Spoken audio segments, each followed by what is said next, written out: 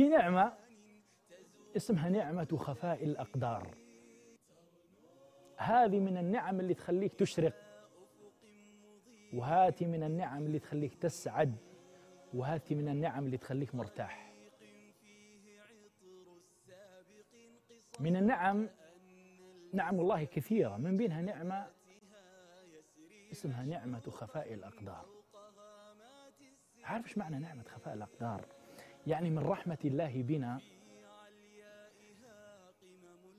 أنك تخيل بس قبل ما أقول لك من رحمة الله بي تخيل بس أنك لو تعرف كشف لك القدر الآن أنه لما يصير عمرك 18 سنة أنت كذا جالس تقرأ أنه هذا قدرك أنه لما يصير عمرك 18 سنة راح يجيك زكام وحمى رغم أنهم زكام وحمى لكن أنت عمرك كذا وأنت عمرك 10 جالس تنتظر 18 سنة لأنه تعلم أن في هذه السنة راح يأتيك زكام وحمى. وأنت تقرأ في صفحة أقدارك لو مثلا تقرأ أنه في سن العشرين سيموت الوالدة والله يطيش عقلك. لذلك تأمل معي. ثم تقرأ في الأقدار أنه يكون عمرك 27 ما أدري إيش راح يجيك. فلطف الله بي وبك وبك أن أخفى علينا الأقدار لنعيش دوما في أمل وفي فنعيش بين جنتين جنة رضا وجنة نعيم بما يعطي الله من خير في هذه الأقدار والسنين وجنة صبر. في شيء اسمه لازم تصبر. بعض الناس يقول لك شوف راح أقول لك مشكلة بس لا تقول لي اصبر. إيش أقول لك؟ تنسلخ من جلدك تخرج من هذه الأرض التي أنت فيها التي أنت فيها. وين رايح؟ وين رايح يا عمي؟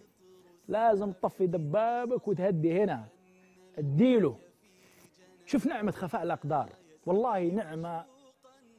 لكن من رحمة الله حتى لما ينزل القدر مرات تتخيل أشياء كذا لو أنها نزلت كيف ستتلقاها؟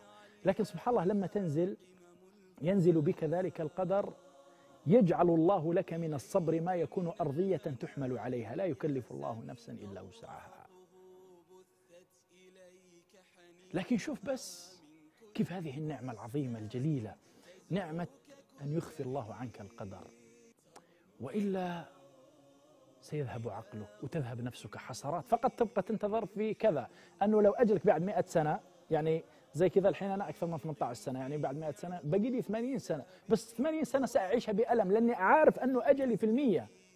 رغم أنها 80 طويلة.